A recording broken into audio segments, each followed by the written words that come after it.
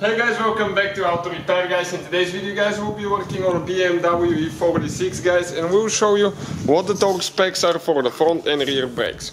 Now we have videos guys that explain how to replace your brakes and all that stuff, everything from start to finish. But if you just need the torque specs, that's what we'll be sharing with you. Stay with us, we'll share the front specs first and then the rear ones. Uh, in addition guys, we have more than 200 videos on E46, so please subscribe. Our mission guys is to save you as much money as we can by teaching you how to fix your car for free. So, first guys we need to install the rotor. Okay, rotor is right here. Now, that screw right here, that bolt, okay, we'll need to use the small torque wrench for that one. And uh, this retaining rotor screw bolt guys. Needs to be at 16 newton meters. That's what we found for our BMW okay 16 newton meters uh, it says or 12 foot pound.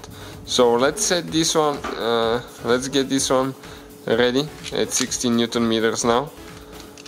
You always have to store your torque wrenches at the lowest setting. Otherwise guys it's uh, you're going to ruin them and they will not be accurate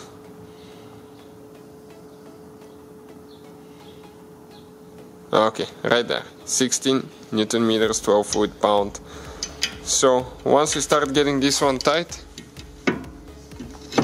okay needs to go on the hub you're going to hear a click when you reach that torque. It's important once you reach the torque guys and you hear the click never to go more. Okay it got in the canal. So listen now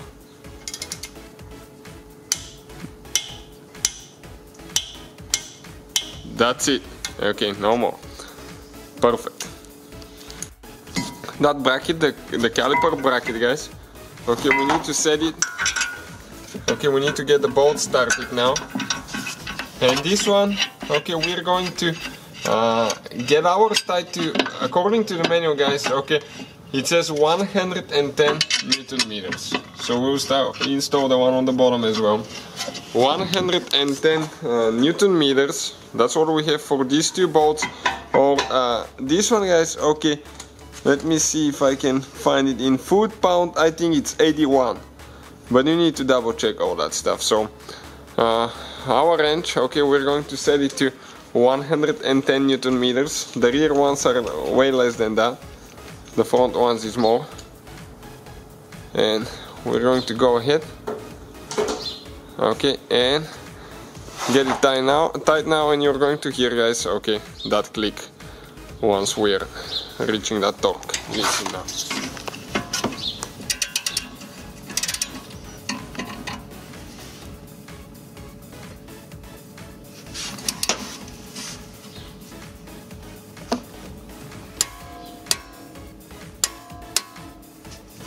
Perfect. One is ready, now the second one.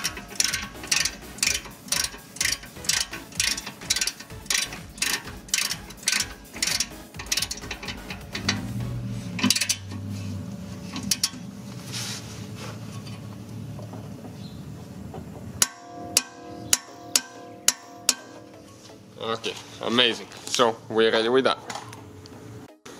Now those bolts, okay, the okay those pins, the glide pins, they need to be at 30 newton meters.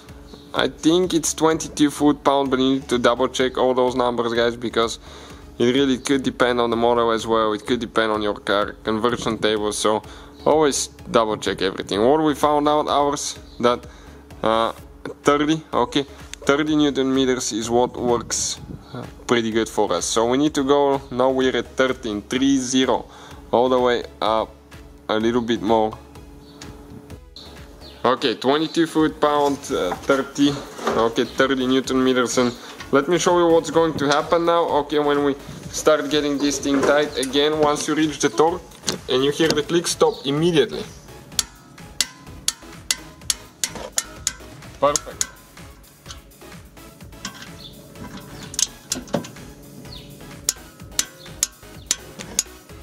This is it. Next, don't forget to install your caps. Okay, we have the little caps here. Okay, the, the ones on the back, the rubber seals. Okay, those two. Install them now, so you don't leave them for later. Okay, great.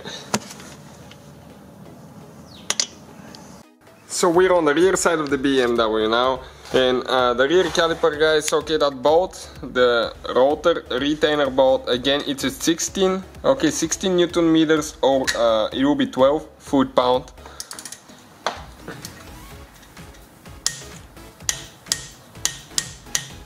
Perfect, right there. This one's ready to go. Now uh, we'll need to go ahead, install that bracket and once we get to the point I'll show you okay what those need to be at. So for these big ones guys now we need to go to 67 okay 67 newton meters uh, and uh, this is 50 pound okay 50 foot pound or 67 newton meter.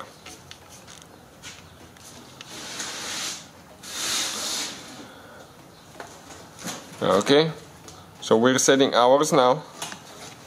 Perfect. 50 foot pound or 67 newton meter.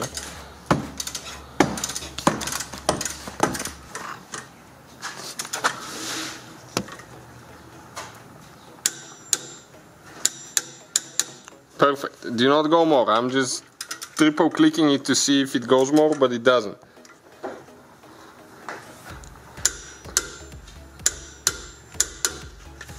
Okay, this is it. Now we're going to place the pads and we'll continue with the next one. So we need to install the, the guide pins, okay, and those guide pins guys, uh, they need to be just like the front ones and 22 foot pound or 30 newton meters, 30 newton meters or 22 foot pound. So we're going to install ours now, we have the torque wrench ready.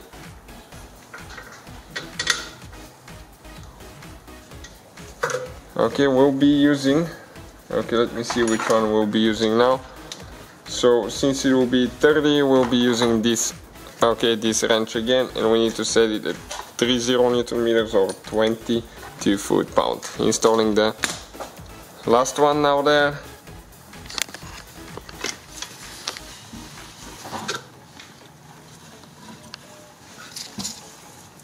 We'll just get them by hand to the point that they start getting tight because it's easier to use the little ratchet than using the big torque wrench.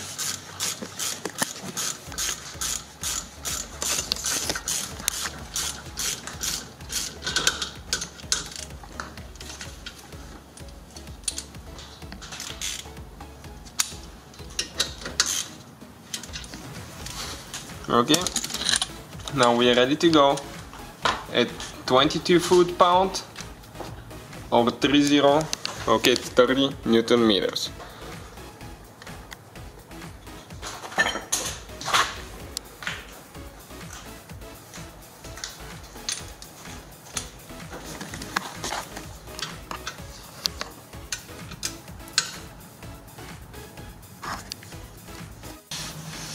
Okay, listen.